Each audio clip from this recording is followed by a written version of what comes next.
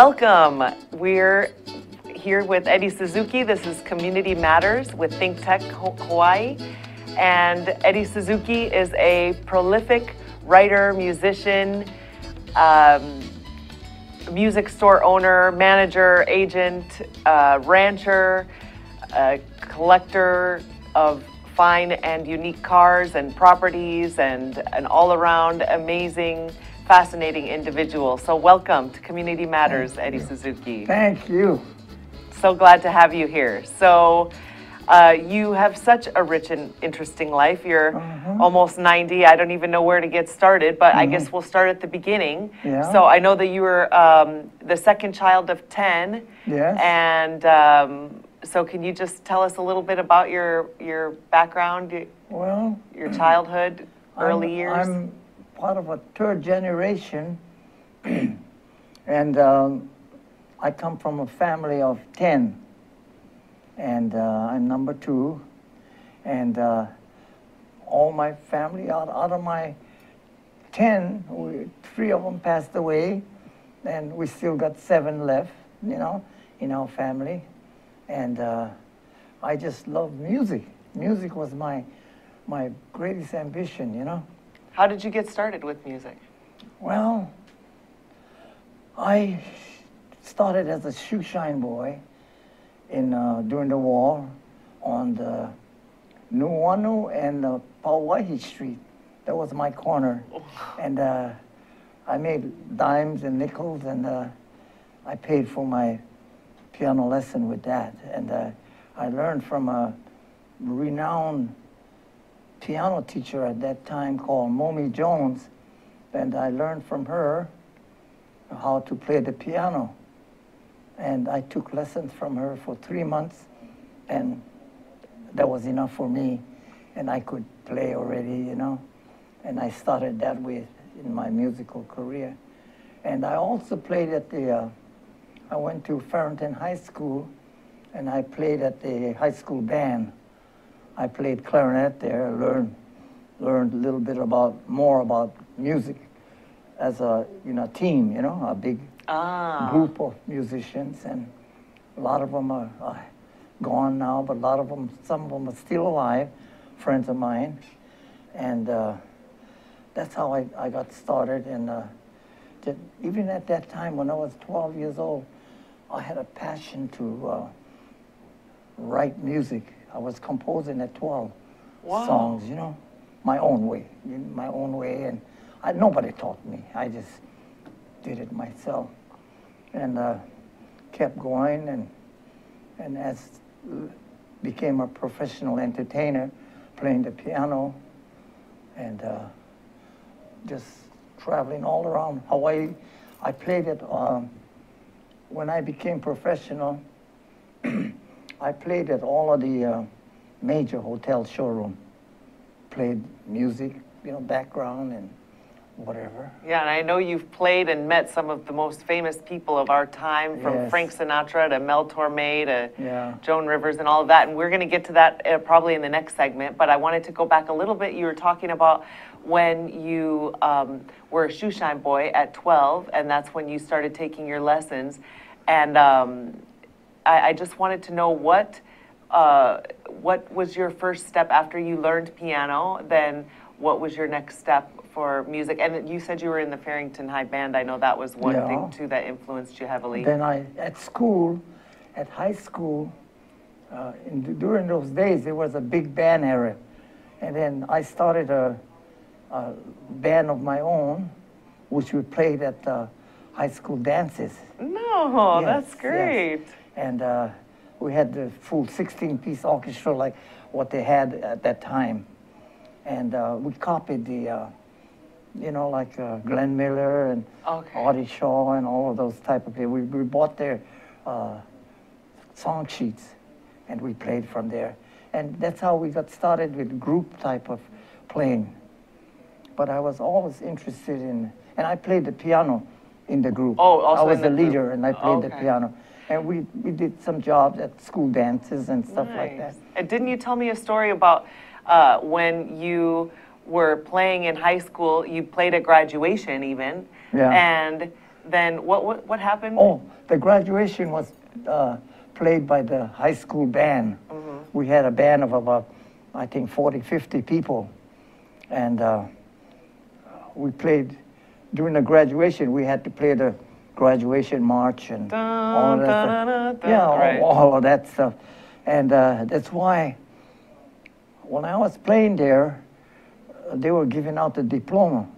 But uh, I could never go, go up and get a diploma like everybody else because I was in a band. Oh, And, uh, and I, when we left, I left and I didn't get my diploma to this day, till this day. well, we're working on that. yeah, We're, yeah, we're gonna work on so getting till that. today, I don't have a diploma for high school. I graduated, and uh, I was not too bright in school, and. Uh, In the I- traditional sense, yeah, anyway, but- I excelled in music, shop, and uh, music, shop, Art? and art. But everything else, I was terrible. But my music and stuff gave me a higher grade, so I graduated. You know, I graduated as like a C minus student. Right. Yeah. Well, you graduated. So what did you do after high school then? Then um, I continued playing music, and I started. I wanted to become a, uh, involved with the piano, so I learned how to become a piano tuner. How did you do that? Yeah, uh, there was a guy in Waikiki, right on uh, Kalakaua, who had a piano shop. Uh, what do they call it? His name was Chester Jackson, and he repaired and tuned pianos as his trade. He had a store there. So I wanted to learn how to tune pianos and stuff, but there was no way I could learn unless I go to the mainland. And there's schools on the mainland where you can learn, but I couldn't afford to go to the school, so I went to talk to him. One day, I waited out the door and I saw him working inside of the shop. So I got enough nerve to go in and say, uh, I would like to learn how to become a piano tuner and a piano repairman. Uh, I said, I have to learn it here as a apprentice, and I'm wi- willing to work free to learn it because if I go to the mainland, I'd have to pay for the plane and, and all of that, and I couldn't Right. afford that.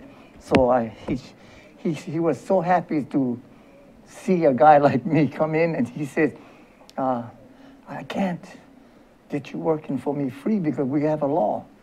So he says, but I'm going to pay you 50 cents an hour, but you're going to have to do whatever I tell you. But and one of the things he told me, I never forgot. He says, "I'm going to teach you everything I know in the piano." Piano. Then I worked for him for about two years, and I learned the trade. I did all of the repairing and everything like that. And then he got called. He come from a piano tuning family. Then he come from Redlands, California. so his father-in-law, who owned the the piano store on the mainland, died. So he had to go back and take over the business. Take over. The, it was a bigger store and everything. So he told me, Eddie, you're doing well, and you can handle it. So I'm giving you my business. So he gave me the business, all the tools and everything, and he wrote every customer that he had, he sent them a letter telling them that I was capable of following Wow. through. Although I was a young kid, you know. You were I only could- 18. Yeah, and I could. Uh, I don't think I even was 18. I must have been 17 or something like that. And uh, I opened up uh, a store on Beretania Street, a small little piano repairing shop, and that's where I started up my musical piano business. And I remember you telling me that as the times changed, people didn't have pianos as much anymore, it wasn't as popular. Yeah. And so then you turned your store into just a music store and mostly sold guitars. Yeah. And that's how you met a lot of people because Right. they'd come here and play. Yeah, yeah. and- All of a sudden, uh, at one time, everybody wanted to learn the piano. The families send their children to piano, you know, school and everything, and so piano was real popular regular, uh, you know, regular piano, not electric piano. All right. But then, uh, so that the business started to slow down. But all of a sudden, Elvis Presley came into the picture, and everybody wanted to buy, play guitar. So the piano business went kind of down. Guitar just came crazy. So my shop, which at that time was at Kapiolani and Piikoi, I had a good sized piano store. I converted into half guitar business. Mm. You know, so I started to sell guitars and did very well in piano and very well in guitars. And weren't you the exclusive distributor for Ibanez? Ibanez, yeah, Ibanez was a guitar that, you see, because I was new at the business, I could not get the good franchises like Gibson and Martin and all of that stuff. Fender. Oh, So- okay. All I could get was an unknown guitar called Ibanez. So I became the distributor of Ibanez, and that guitar was made in Japan, unheard of. But uh, I started to sell Ibanez, and I promoted the guitar, and before you know it, Ibanez in Hawaii became the number one guitar. Uh, we outsold anybody. How about that? I had- wow. I had inventory of about 250 guitars. Incredible. Nobody, Fender or anybody had that kind of inventory. Oh yeah, tell us a quick story about your Ibanez, some of your ideas, uh, and and you had the party, Oh, the yeah. Ibanez party. Yeah. Uh, and George Benson, who he and I became very, very close and very good friends, uh, became a promoter for Ibanez. They, he used to play the Gibson guitar, and he was a jazz musician just starting out at that time. And uh, he wanted Gibson to make a guitar for him under his label, uh, his, his uh, patent and stuff like that. But they didn't want to do it because he was kind of unknown and they already had big names. So they didn't want to do it. So he searched around and he found out about Ibanez. He liked the guitar, was a very good guitar. And they were willing to make models with his name. So he took the, uh, the what do you call it, that ability and the uh, time to do that. And he made couple Ibanez guitars, jazz guitars, and a semi rock and roll guitar. And all of a sudden, he was a guitar player, but then he started to sing. And when he started to sing, all of a sudden he became a national hit, you know. And but because he he played the Gibson, I mean the Ibanez guitar, and because I was a distributor for Ibanez in Hawaii, he and I became very very personal, good friends. Didn't you guys throw a party or something? Yeah, And- and uh, to promote it, I one of the things I used was the switches on. In other words, everybody's going to trade in their Gibsons and Fenders and everything to buy Ibanez, and that was the name of your your uh, uh, promotion. Or, yeah, Okay. The I had an ad in the paper every week, and every time a, a professional bought an Ibanez, I put his picture in the newspaper. Okay. saying the switch is on, and this guy is now playing Ibanez. I took his Gibson in or Fender in as a trade, Nice. sold him an Ibanez. And then they had exclusive rights to go to a party if they Yeah, had an Ibanez, but some guys showed up. But we're I- about to go to commercial. So I just wanted to, uh, we're going to finish that story when we get back and more interesting stories with Eddie Okay. Suzuki in a moment. Thanks so much. Aloha, my name is Justina Spiritu, and I'm the co host of Hawaii Series. This is my co host, Matthew Johnson, and you can catch us every Thursday at 4 p.m. at thinktechhawaii.com. What do we talk about, Matt? So on Hawaii Farmers Series, we're going to be bringing on the farmers and also supporter of farmers, including restaurants, caterers, as well as government supporters and nonprofits to hear their background stories and understanding our local ag community just a little bit better. Yeah, essentially, there's a lot more that goes into farming and the local food community beyond just producing the food. And we want to feature and get the background story on all these folks and see how we all work together as a community. So join us every Thursday. Aloha. Hi, my name's Hillary Weinberg. I'm the host of The Whole Gamut on Think Tech Hawaii. See us live every Tuesday at 1 p.m.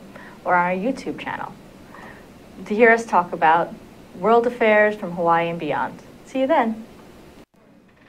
Aloha, I'm Carlos Juarez, host of Global Connections, and I want to invite you to come join us. We, we cover a range of global issues. We bring a lot of expert opinion, uh, a lot of issues, whether they're contemporary events happening in the world or maybe looking at things from a more historical perspective.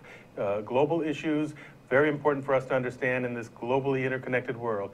Join us here on Global Connections.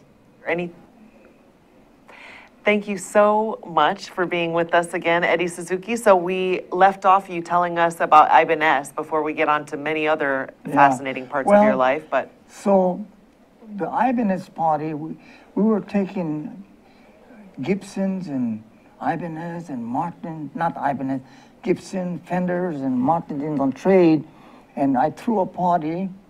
I rented the uh, penthouse for Ala Moana Hotel, three of them, and we threw a call George Benson Ibanez party. And uh, in order to come to the party, you had to buy an Ibanez guitar. So everybody was switching their guitars to buy Ibanez to come to the party to meet George Benson and play with him. And at the parties, he would play along with the, the top local musicians here. And he, uh, George Benson was a big name then. So uh, we threw those parties, and a lot of people came to the party because they were friends of mine. I, I was a musician and I knew most of the entertainers. So they, they all says, yeah, but I bought a guitar from you way back. But yeah, but you bought a Gibson. You didn't buy an Ibanez, so this is an Ibanez party. So when you buy an Ibanez, you can come to the party every year. so they all switched, and every week I put a new picture of who who changed from Gibson to the switches. but at the on- party, didn't you have Ibanez? You had like a, a nicer one, and you had one more reasonable. So Yeah. if they wanted to come to the party, they could buy one right the there on the one, stop. They can buy on the spot. and they can get a pass to come in. and we, we had about, uh, usually about, we rented three for the penthouse right on the top.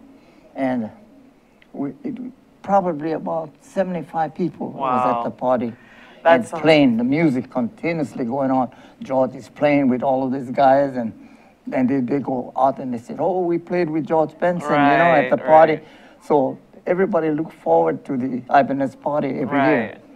And, That's that's great. That's uh, really interesting. It's such a um, novel way to go about getting customers, and Yeah. and the fact that you got into the business, you know, uh, when you were still a teenager, and then worked your way up to now, you know, having you know your own musical career as well as the store and all these parties and stuff. But I wanted to go back uh, before we move on to so many other fascinating parts of your life. But um, back when you were growing up and you were 12, uh, you know, uh, shining shoes, paying for your way to, Yeah. uh, you know, to your piano lessons with Momi Jones.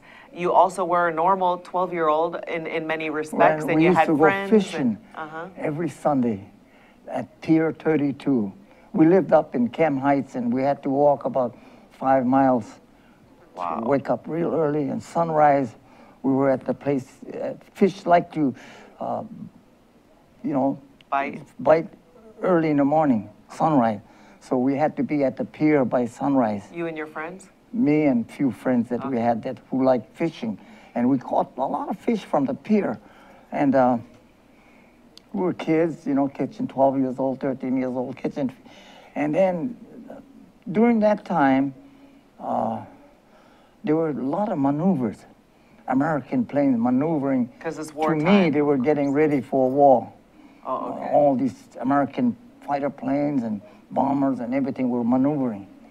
So was December 7, we were there fishing, and all of a sudden we, we thought this maneuver starting pretty early, sunrise, and we saw these planes coming in from Nuuanu, from Numano, and they were the Japanese planes. And they were all coming in very low, just above our head, and coming down towards the Aloha Tower, turning around and going straight to Pearl Harbor, low as they can, you know.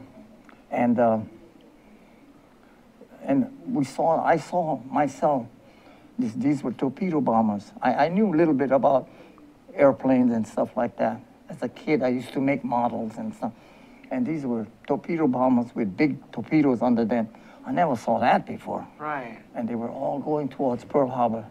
And the funny part about it is, uh, they had these planes, beautiful plane.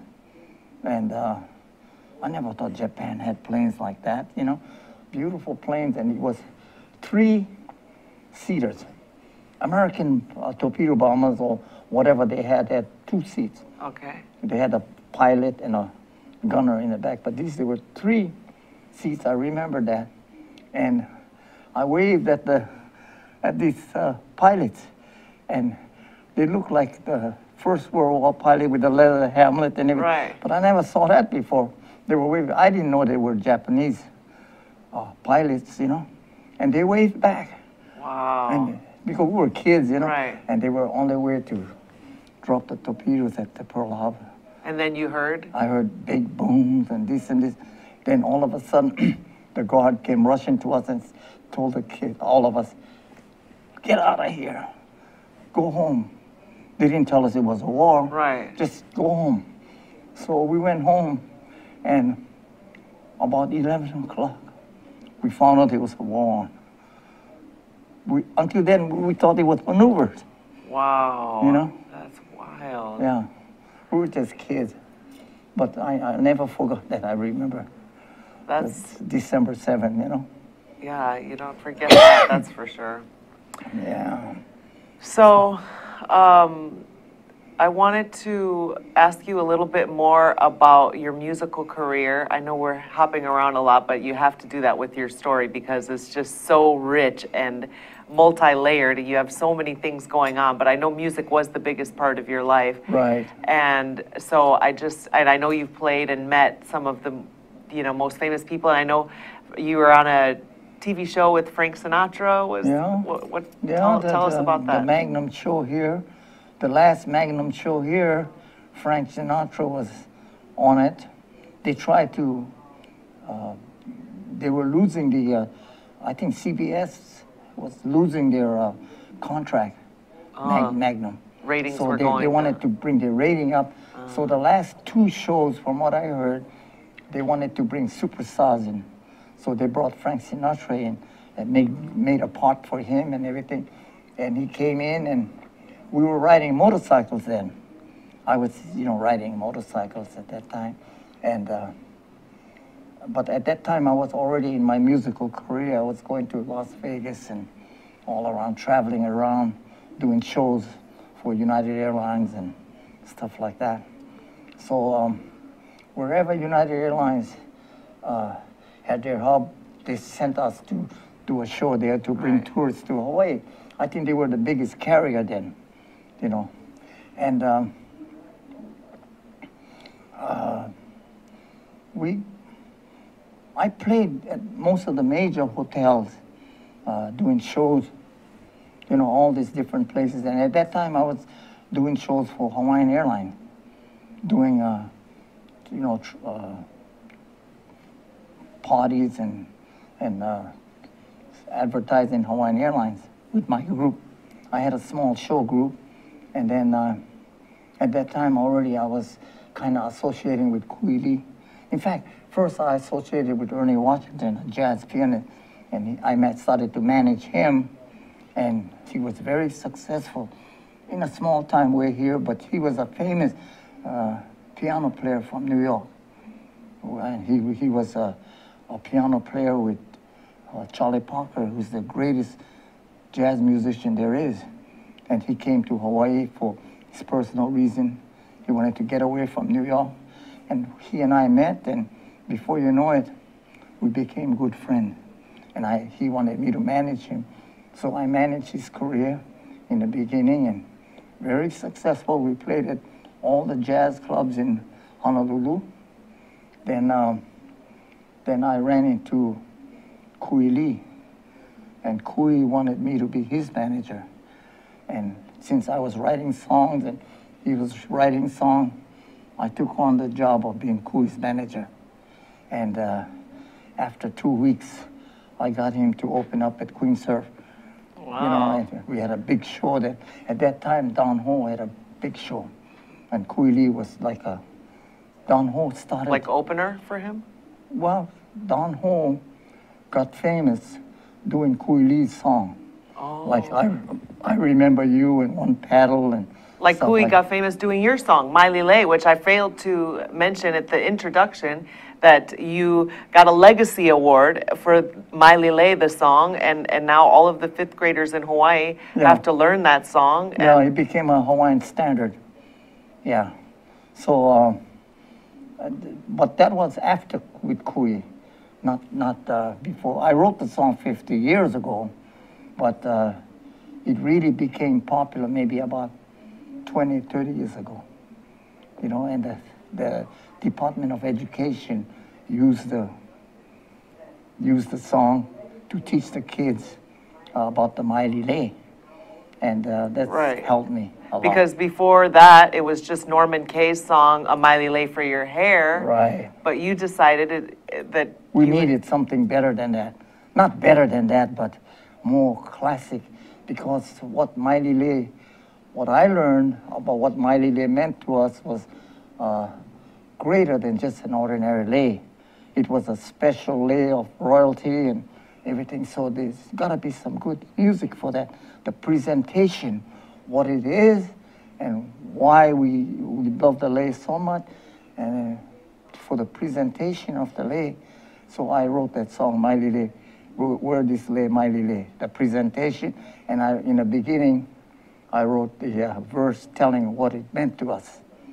And the Department of Education wanted to teach the kids that about Right. Maile Lei, so they put it in their curriculum to teach the fifth graders the song and made it a Hawaiian standard. And that's the thing gave me a big start in getting it rolling, and I did it. And Sam Kapu was the first guy who recorded it. And then after a while, Ben Vegas, who used to play in my group, who you know, who I worked with and showed him the show, this business and everything. Now he's real popular, and uh, he did his version of My Lay, which was a little different than what we did, and it became a hit. You know, and Wow, and now you got a lifetime, a lifetime achievement award for right it, you for know? the song My Lay. Uh-huh. Yeah, so that's and then now I'm still writing, and then I'm writing a lot more songs, and That's I right, you have two albums out already. Yeah. Uh, what was your first album, New Beginnings, was High it? Tide. High Tide, okay, I'm yeah, sorry. that had uh, 12 songs in that original, but uh, then my second album, I just did it last year. Like the collectors, like the greatest Yeah. hits kind of thing? Yeah. And now you're working on another album. Right.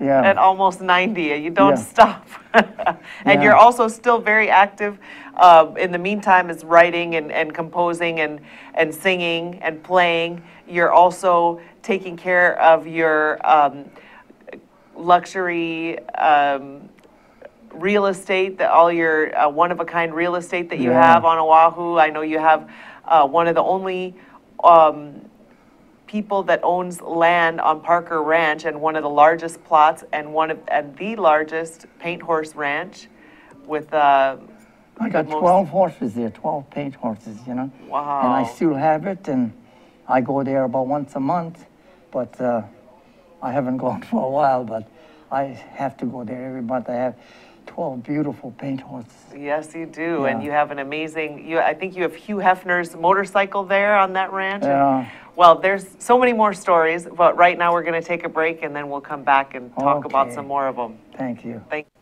Aloha, this is Reg Baker, and I am the host of Business in Hawaii. We talk about positive stories, positive stories of businesses in Hawaii, how they have been successful, and how they have overcome some of the obstacles that a lot of us encounter when we try to have a business here.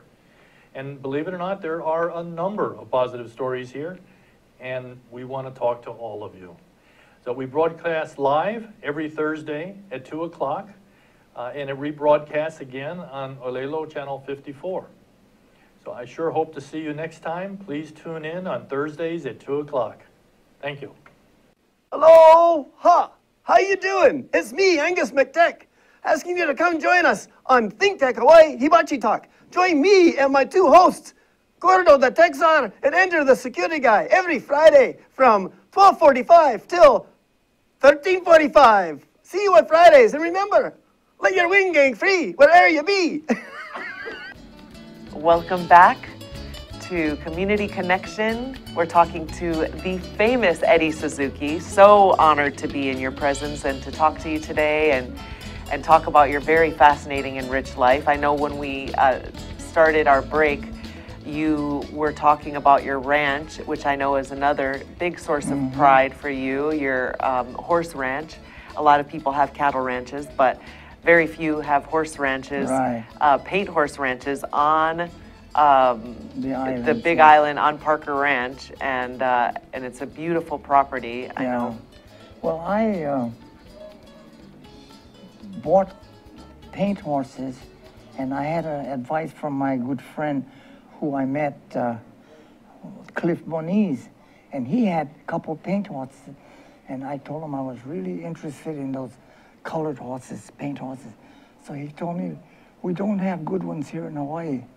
So the only way we can bring in some good paint horses is we got to go to the mainland and paint horses was something new.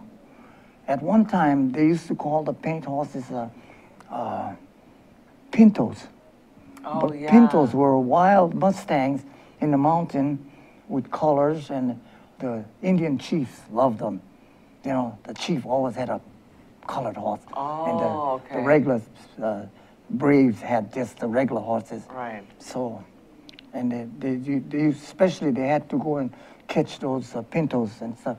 But then some people got together, um, and they wanted to make that an official time. At that time, there was no paint horses, so they started an organization called the Paint Horse Organization. And what they did was took registered quarter horses and they got some thoroughbreds, but mostly quarter horse, and uh, made their own paint horses and registered them. So the paint horse line, most of them are registered horses. Pintos are mostly just Mustangs. Okay. And weren't, isn't there a story about your uh, the the start of your ranch, the the war line? of Oh yeah. Well, I wanted the, the best horses I could get. So I went to the mainland with my friend Cliff Moniz, and we studied the uh, Paint Horse magazine and called up all the different ranches that had famous paint horses, visited them on the mainland, and I ended up buying 10 paint horses and brought it back to Hawaii and, you know, set it up on my ranch. I had a 10 acre ranch at that time in Waikii. On, But on Parker Ranch. How big Yeah. is it now? Uh, now it's about 50 some odd acres. Wow. I, I bought the other, a bigger ranch, because I ended up with 10 paint horses. And first I thought one paint horse per acre. So I had 10 acres. But when I brought the horses back, my God, they ate all the grass in, in no time. So I knew I had to get a bigger ranch. Wow. So well, aren't they uh, part War Glory, which is your first uh, thoroughbred, right? Didn't he? Isn't he from the No, same no. line of horses? But the first horse I had was called uh, Vega Jack. Oh yeah, Vega Jack. Vega that's right. Jack. But War Glory is the Uh, I bought uh, Vega Jack died, so I needed another stallion. All ranches have to have a good stallion to propagate the, the line. So I had like, uh, I bought one stallion, nine mares to start the thing going here in Hawaii. And uh, when I brought them back, and then uh, when I bought the, uh, what do you call that, Vega Jack, he was kind of old already, and uh, the only reason I could I bought him was because he had a beautiful offspring, and uh, I wanted to buy the offspring. This was in uh, in Oregon. I wanted to buy the offspring, but the owner of that ranch says, "I won't sell the offspring unless you take the the, the stallion with it." So he sold me the stallion real cheap.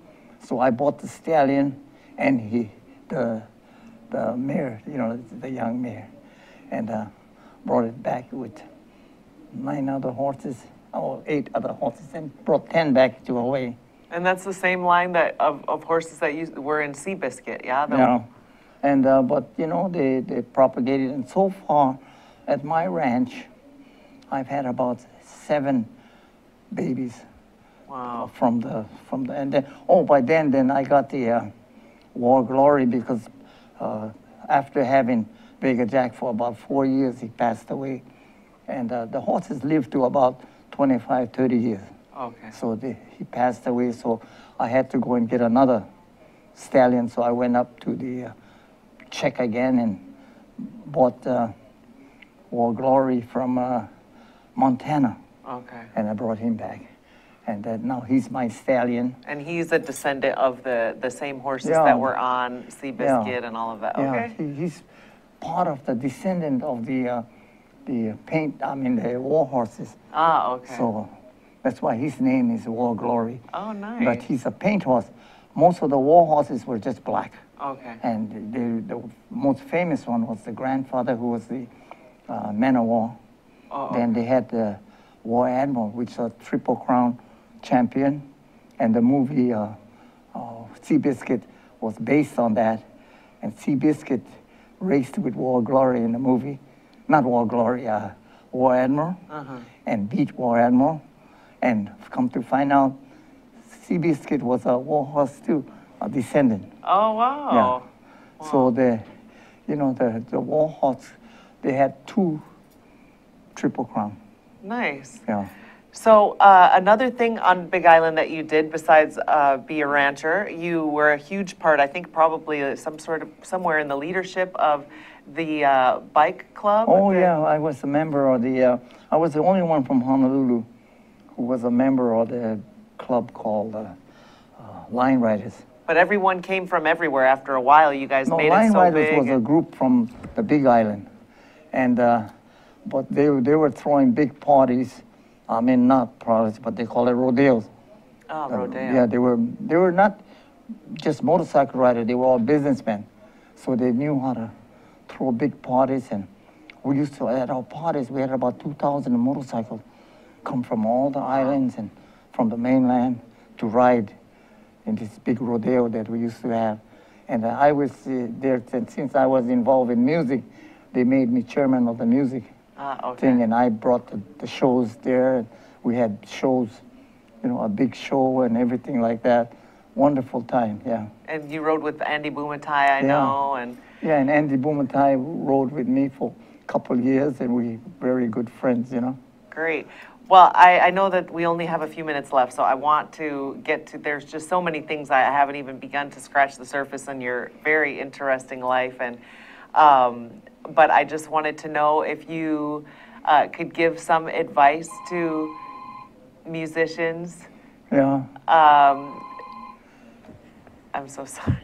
yeah. Um, so musicians or, or young people, uh, what would you like to say? Well, I sure would like to see a lot more songwriters and uh, do what they feel like. In other words, writing, to me, the people from Hawaii, born in Hawaii, should be able to make the best uh, Hawaiian type of modern Hawaiian music. In other words, if we do any other type of music, we're in the wrong direction. We're from Hawaii, we're born in Hawaii, we got the feeling of Hawaii, the music should be Hawaii, Right. you know? Because if we, like, I feel that when I write music here, I'm top of the line. But if I were to write music about New York, then I'd be the last of the line. Right. So why not do what what's best? And that's what I've been doing. So all of my music is uh, is uh, based on my true life in Hawaii and my love for Hawaii. Yeah, and I'm capable of putting it, make it happen. The words, the music, even telling stories about my life.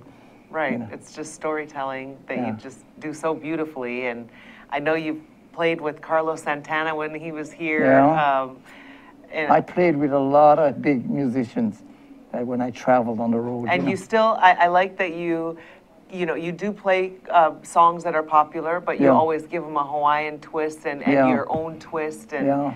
and Never copy anybody. Just do your own feeling, you know, whatever. We, we used to call people that copy music in my era. We, if you copy, and no matter how good you copy, the better, better you copy is what we call bubblegum. in other words, you, you copy.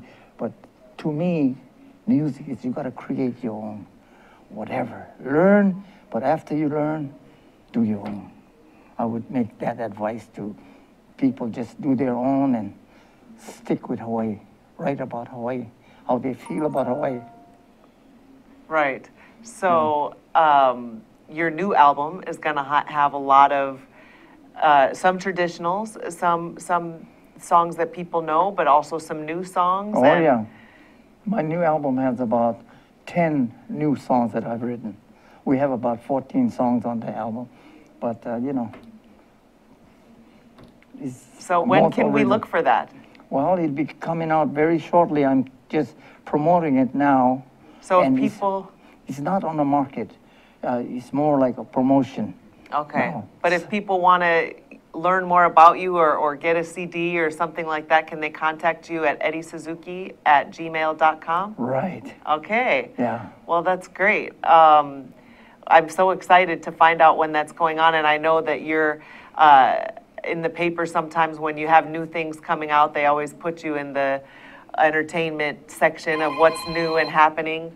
Yeah. And um, so I think that Hawaii is ready for another Eddie Suzuki Well, album, Yeah, I'm and working on one.